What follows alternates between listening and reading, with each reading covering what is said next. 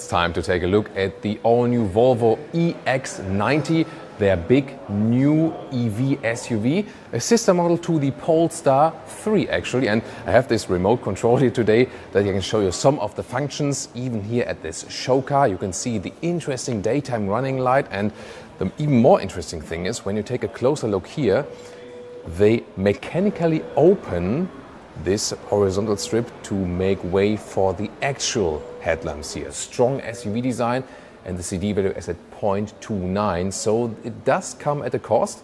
But do you like the design? Tell me in the comments. Everything in this part here in the top where you could imagine there's like a taxi sign or something. Well, this is actually the LiDAR, so the laser sensor for all the assistance systems as an additional sensor type. Turning indicators, by the way, here, they replaced the daytime running light here in this lower part in a vertical way. Looks quite cool, doesn't it? The length here at 5 meters and 4 or 198 inches, so full-size EV SUV.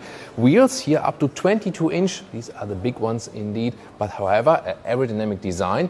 And yeah, even though it's not the most aerodynamic vehicle, there's a big battery inside, so it's 107 kilowatt hours net and we can expect somewhat a range of 500 kilometers or 300 miles then. The door handles here, can use the remote control for that again, they fold out.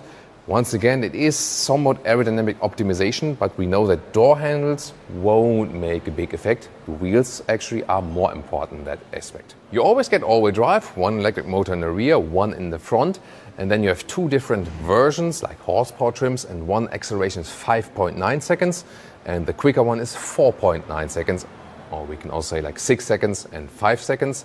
Easier to remember to around 100 kilometers or 62 miles an hour. Recharging has a 250 kilowatt peak and 10 to 80% state of charge in fast charging will take 30 minutes. Bidirectional charging will also be possible. You also get a welcome light signature for the rear lamps. It's pretty cool. And this is here a typical Volvo SUV styling with this vertical orientation. So I think especially in the rear they did a good job to keep this Volvo heritage definitely. You also have a goodbye signature then for the rear lamps. And there you can see also where the turning indicator is put. Pretty cool indeed as so the light show. Top speed, by the way, is 180 kilometers an hour or 112 miles per hour. And is there a frunk?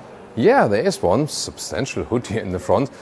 Then at least a little frunk here and space for some charging cables. This is, by the way, the vehicle color. It's called Vapor Gray. This is here Silver Dawn, so a little bit lighter. And there are more colors available. See it here.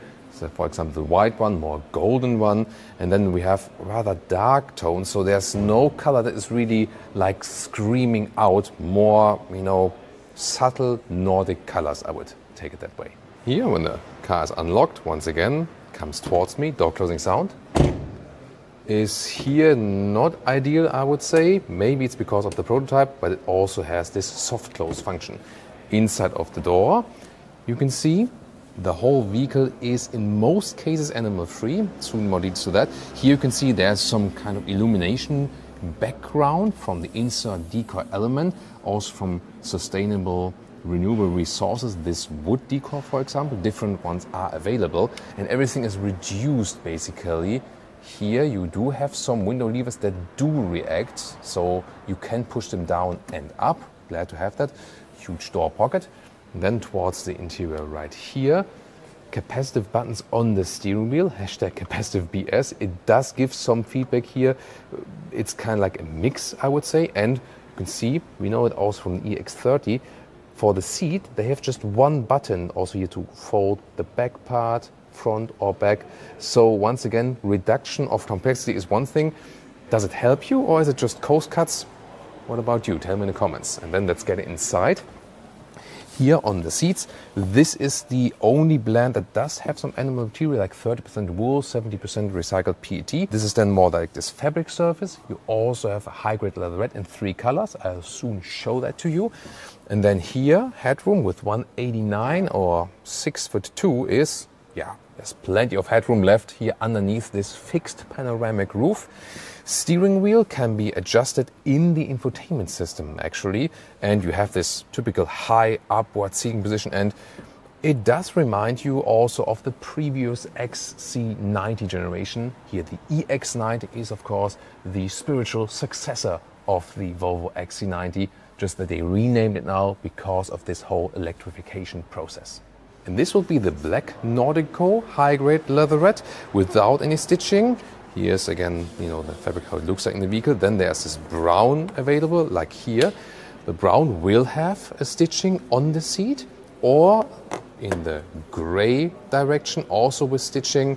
This is like how the whole, you know, high grade leather looks like. And it's really soft, great quality, and once again, also made from recyclables and overall reducing CO2 in the production. Interior cockpit overview, a very clean, minimalistic design, 14.5 inch screen, vertical way. I find it very beautiful how this, first of all, wood deco element and then matte wood and then you have this illumination from the back part. Vents are still manually controllable, and we still have a manual volume jog in the lower part, at least that. Steering wheel here, plus minus for the volume. That's easy, accessible, and yeah, the feedback it does give you is actually quite okay to put in the gears is here behind the steering wheel, the stalk column, and then you have at least some small digital instruments with the range view, battery says, and so on. There will also be the speed displayed. And there will also be a head-up display available. Pretty cool additional speaker here, by the way, for the Bowers & Wilkins sound system. And the top part here of the dashboard, also soft touch leatherette with white contrast stitching. Everything else, like here, the temperature control, all in the screen while driving, of course, that's not too good at least it is somewhat straightforward because it's quite logic here, like vented seat, heated seat, heated steering wheel, and so on. This is the main menu. They promise also Apple CarPlay connection. It is based on the Android Automotive system. That means you have a native Google Maps support and it's also quite responsive. And it would also calculate the charging stops on the go. So this is actually a very good one. And so much better than all the other manufacturers who try to go their own way and fail by the software. Here in the lower part, by the way, you open the glove box. Upper middle console looks cool here with inductive charging pad, and there are also some holes that then ventilate the smartphone. Doesn't get too hot. Pretty clean styling here, and you can slide that one open and have adaptive cup holders and more space here underneath this armrest. In the lower area here, you have a lot of space actually, and then you have two USB-C chargers and an actual seatbelt material to hold maybe another smartphone here and so on. Now very exciting to the rear seating area. First of all, inside of the doors, high-grade leatherette material, so the material quality, the impression is really good. Then you have this through bench here, overall a seven-seater setup. There's also difference to the Polestar 3, which does not offer that option. Here you can also go for the excellence, then you would have single seating in the rear. In the second seating row, then it's just a four-seater, but most people will go for that one. Also decent seating comfort here, and with 189 and 6 2, I still have a lot of headroom, headroom left. Legroom is a problem in a way. It does fit for, for tall adults, but remembering the Kia EV9, there I had more legroom when a tall driver was driving in front of me, so it works, no doubt about that but I would have expected a little bit more. You can slide the seat forward or backward, and you can also adjust the back part here of the seat, make it a little bit more upright or more to the back. What I find cool is that you can individually adjust them all. So, for example, just the middle seat you can slide for. That looks funny, right? um, so that is also possible. Then you have this um, known Volvo function that you can actually lift this one here up as a you know semi-child seat, so to speak. So this will be possible and then you can lift this one down for some cup holders. Isofix here at the outside seats each. So overall, it's actually quite good in for the comfort for the seating. Yeah, but once again, a little bit more leg room here would have been cool.